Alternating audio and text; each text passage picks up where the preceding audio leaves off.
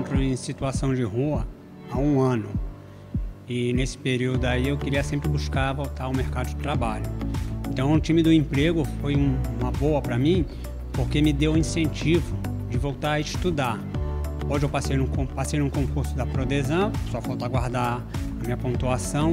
É, vou prestar um vestibular para fazer a faculdade de assistência social para poder ajudar as pessoas que me ajudaram. Eu pretendo também fazer o concurso para operador social e seguir nessa área que eu possa ajudar as pessoas do mesmo jeito que eu fui ajudado.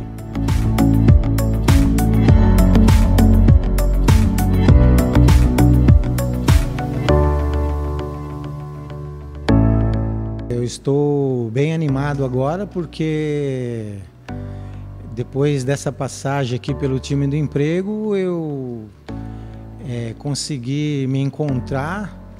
Eu voltei a estudar o ano passado, terminei o ensino fundamental completo. Estou fazendo o segundo ano do ensino médio na, no EJA, né? E, e buscando sempre os objetivos da vida, que é sempre melhorar, está buscando qualificações para poder retornar para o mercado de trabalho um pouco mais preparado.